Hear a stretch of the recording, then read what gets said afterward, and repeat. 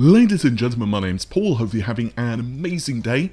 The thorn in the side for Nvidia's RTX 40 launch has definitely been RDNA 3. I think there are a lot of folks who are just simply waiting to see what AMD brings to the table with its next generation of graphics cards.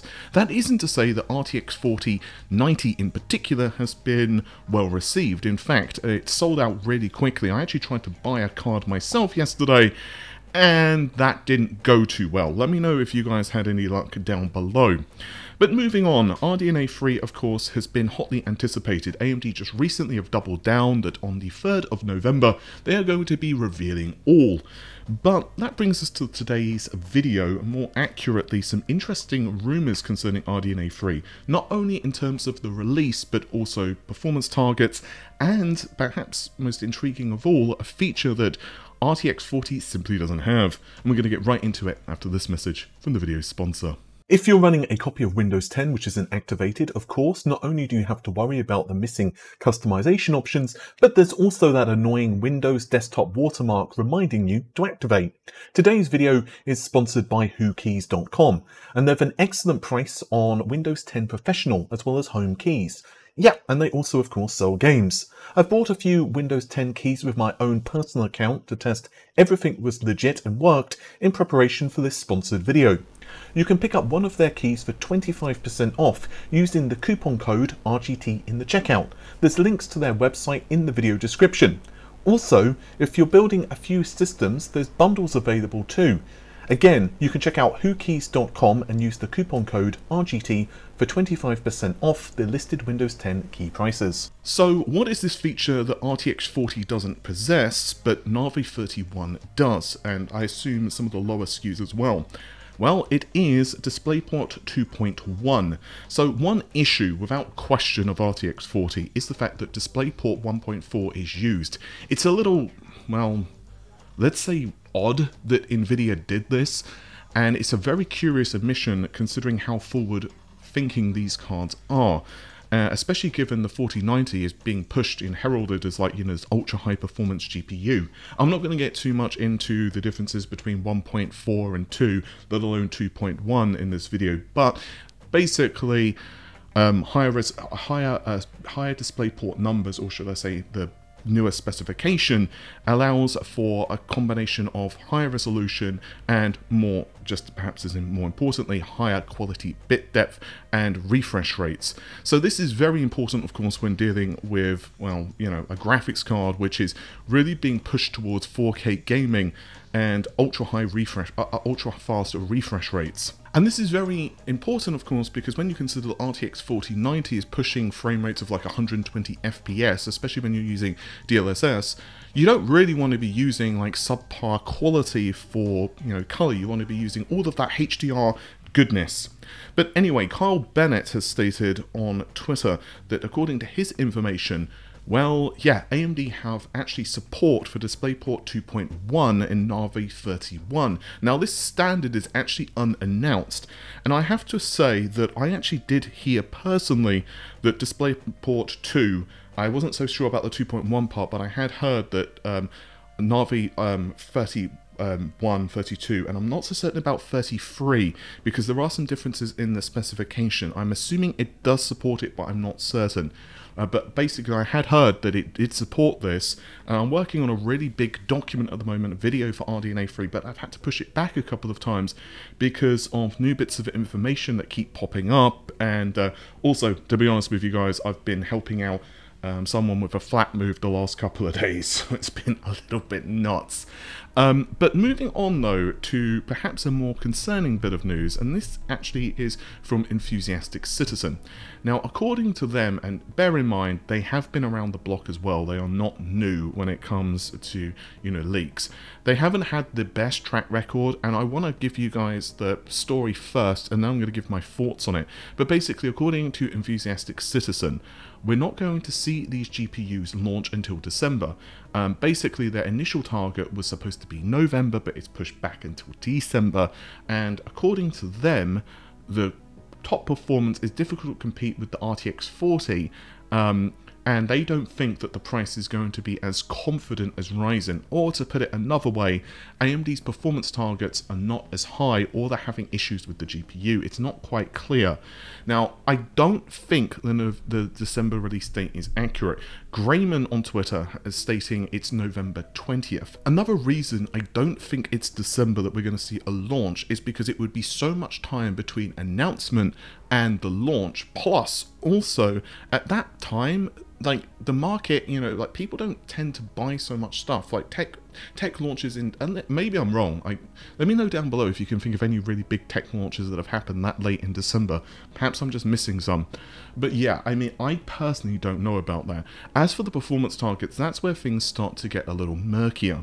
There are two trains of thought here. I'm going to go through this fairly briefly because, again, I'm working on a larger script and trying to get some information from a few sources, so I don't want to go too much into this, but there are two trains of thought. The first is that if you look at the number of shaders, which are over 12,000, assuming the leaks are accurate, you look at the amount of T-flops that is, you look at the leap between Navi 10 to 21, you look at the theoretically between 21 and 31, particularly if you're looking at shader scaling, and you also take into consideration the fact that, uh, well, AMD seems to be hitting it quite.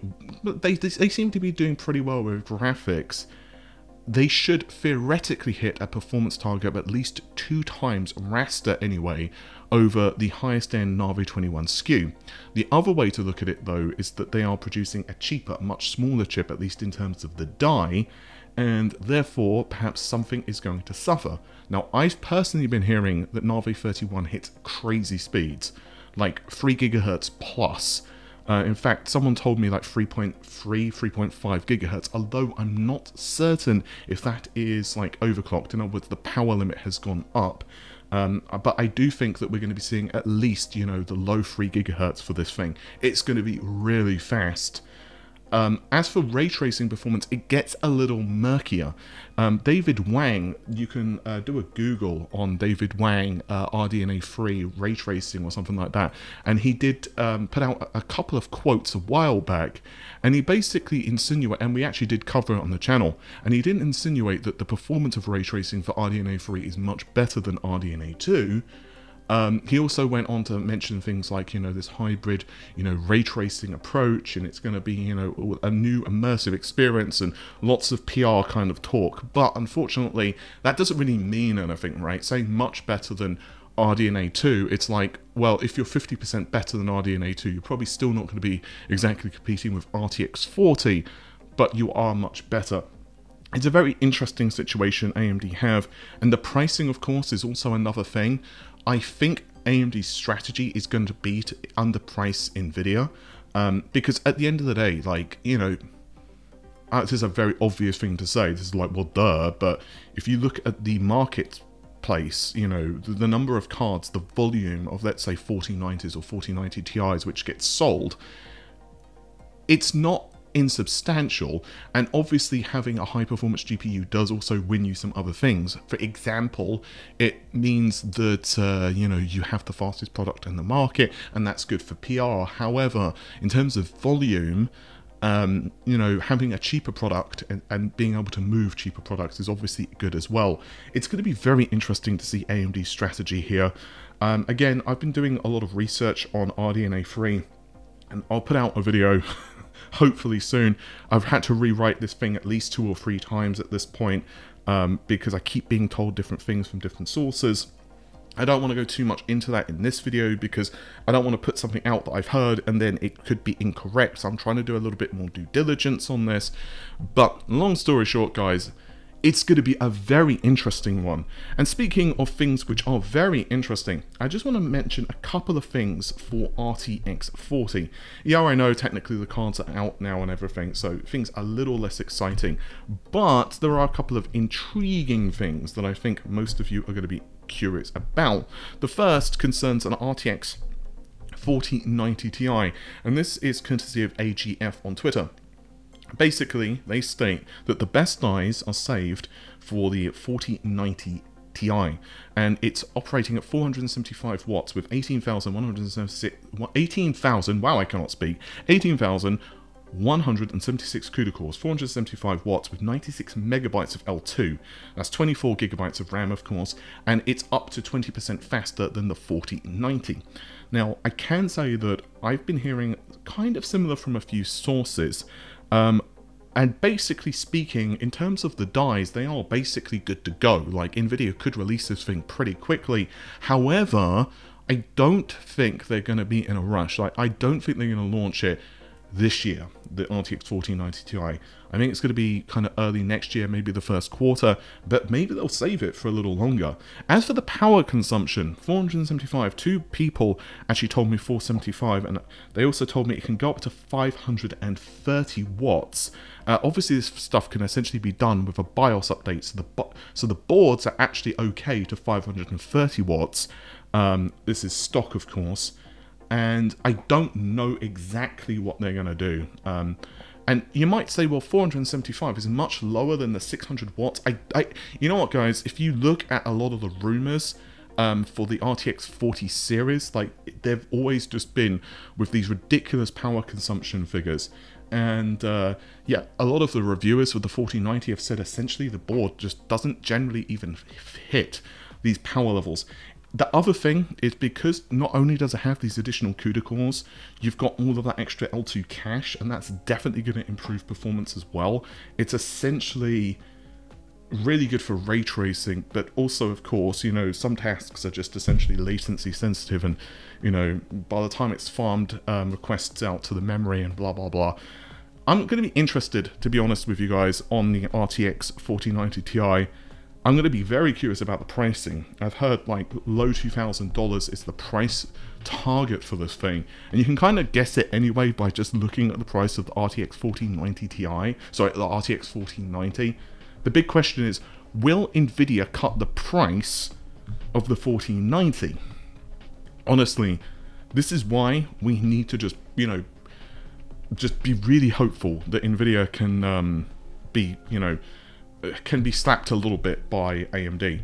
And now we're going to talk about one final thing, and that is RTX 4080 4K results, because there are a couple of benchmarks which have actually popped up thanks to NVIDIA themselves.